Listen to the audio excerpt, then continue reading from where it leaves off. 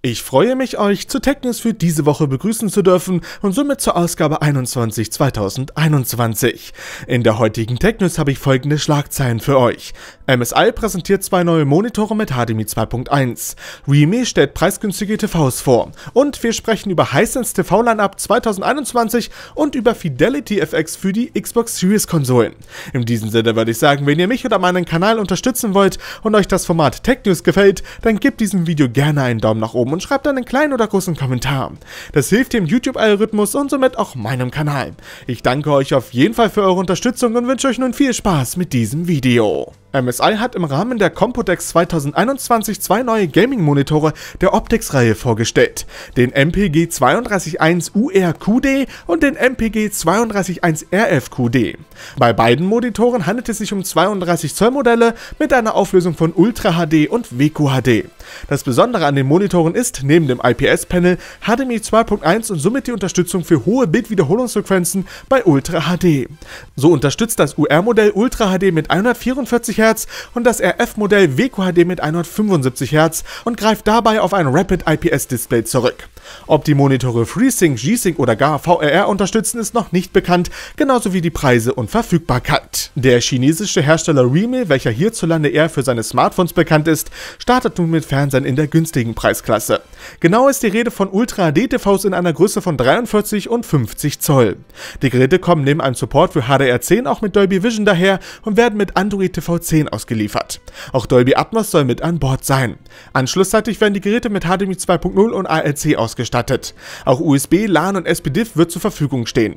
Die Geräte sind vorerst nur für den indischen Markt vorgesehen, könnten aber auch nach dem Vorbild Xiaomi's nach Deutschland kommen und dann ab für umgerechnet 316 Euro starten. Wer sich gefragt hat, was dieses Jahr aus Hisense wird, der kann langsam aufatmen. Der Hersteller hat nun sein Lineup für dieses Jahr präsentiert, auch wenn vorerst nur für Großbritannien. Die Rede ist von OLED, Mini-LED und LCD-Fernsehern. Fangen wir mit dem OLED-Modell A9G an. Der 4K OLED wird mit AGs Evo-Panel daherkommen und soll bis zu 1000 Nit liefern können. Auch HDMI 2.1 ist mit an Bord, auch sinnvoll bei dem 120 Hz Panel. Ob der TV wirklich 1000 Nit schafft, können nur am Ende Tests zeigen. Auf jeden Fall wird das OLED-Modell in 55 und 65 Zoll auf den Markt kommen. Machen wir weiter mit dem Mini-LED-Modell U9G. Hier haben wir ein wenig mehr Informationen. So soll der Mini-LED-Fernseher mit einer 8K-Auflösung daherkommen und in 75 Zoll erscheinen. Das Panel selber soll mit 120 Hz arbeiten können und dank der Ultra Viewing Angel Technologie einen besseren Blickwinkel versprechen.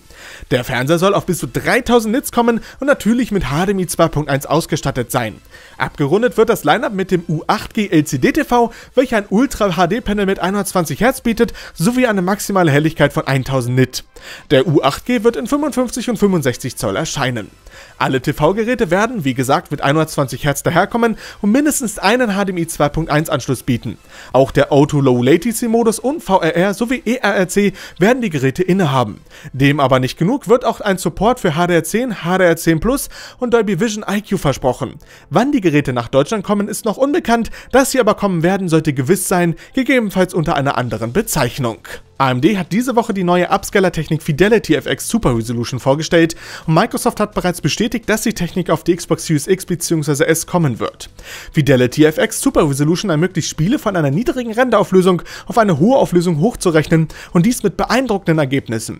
Im Gegensatz zu DLSS von Nvidia nutzt Fidelity FX Super Resolution kein Machine Learning und baut auf DirectX auf, was die Implementierung vereinfacht. Vor allem bei den Microsoft-Konsolen. Theoretisch wäre die Technik auch auf der PlayStation 5 anwendbar, aber da jene nicht auf DirectX setzt, ist eine Umsetzung eher komplizierter und möglicherweise unwahrscheinlich.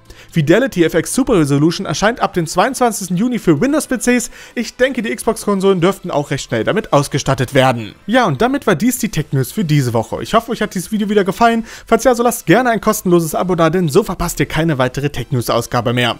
Ansonsten würde ich sagen, ich wünsche euch eine schöne Zeit und wir hören und sehen uns im nächsten Video wieder. Macht es gut!